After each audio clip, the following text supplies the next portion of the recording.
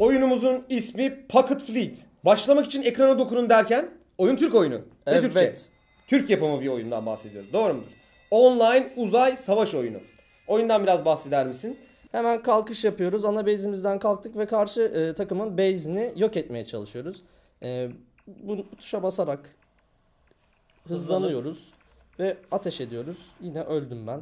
Evet gerçekten Bayağı oyunu hiç beceremiyorsun. oynayamıyorsun. Evet. Oyunla ilgili hemen bilgi verelim. Türk vatandaşların yaptığı oyunla ilgili. Oyun e, bu üç ırkın evrenin kontrolü için gerçekleştirdiği intergalaktik savaşı konu olmakta. Tarafımızı seçip silahlarımızı alıp gemileri öldürüp düşmanlarımızı yenip oyunu kazanıyoruz. Yani kendi ırkımızı savaşı kazandırmaya çalışıyoruz. E, yorumlarda herkes gerçekten beğenmiş. Özellikle bir Türk oyunu olmasıyla ve yani bakınca gayet başarılı. Ben sevdim, tuttum. Bence grafikler yani hani biz normal olarak da gördüğümüz için grafikler aslında çok başarılı değil ama oyunun motoru e, hissi, vukusu hiç fena değil. Bak misilleri atıyor fakat misilleri Rahan tabii çok başarısız olduğu için göğe fırlatıyor ne olur ne olmaz diye. Şu karşıda gördüğümüz şeyler ne Rahan? Şunlar.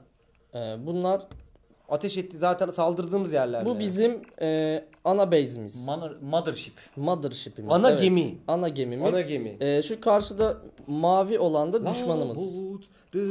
Hemen düşmana gidip düşman e, ana üssünü yok etmeye çalışıyoruz. Çarpınca Elimizden- ölüyor muyuz peki Elimizde ona? hayır. Onlar ateş ettiği zaman bize denk gelir söylüyoruz. Şu an ateş altındayım ve öldüm. Öldü. Evet gerçekten bu oyunu en kötü oynayan insanlar arasında birinci sıraya yerleşmiş olarak bulunuyorsun. Türk arkadaşlarımızı tebrik ediyoruz Ee, ve de bu oyunu oynamanızı ve de arkadaşlarımıza destek vermenizi, tabletlerinizi ve telefonlarınızı indirmenizi diliyoruz. Tavsiye edip multiplayer.com.tr .tr nokta .ist İstanbul. Öyle bir şey yok. slash Öyle bir şey apps var bir de. Evet. O YouTube. YouTube kanalımız. TTT Saygılar, var. sevgiler, hürmetler.